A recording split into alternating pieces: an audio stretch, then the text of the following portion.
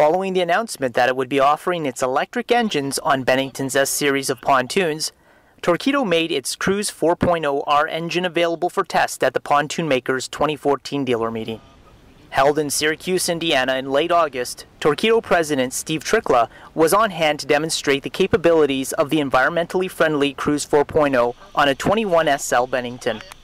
If you're at zero, you have drained the batteries, um, it will take eight hours to go back to zero This is the one Pro Mariner charger that does the house battery. So you have three charging units, okay, all on a three-way plug, plugged into a simple 110 extension cord that we're just running up to the short range. Our test model featured two 53-pound batteries and charging units.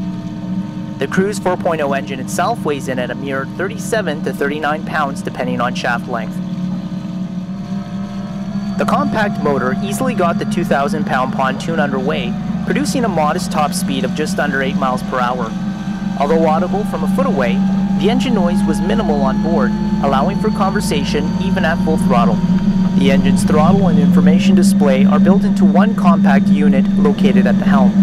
Battery life, range, speed, and power draw were all plainly visible. Range, so it's telling me at this speed that I've got 7.7 miles thereabouts. I'm going just over 7 miles an hour, and I'm drawing 4,600 watts out of the motor. Trkla revealed Torqeedo plans to release a solar controller in early 2015 that will allow users to hook up a solar panel for charging the boat's batteries.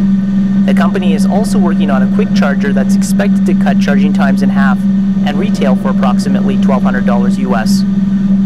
Boating business Jonathan Lee reporting from Syracuse, Indiana,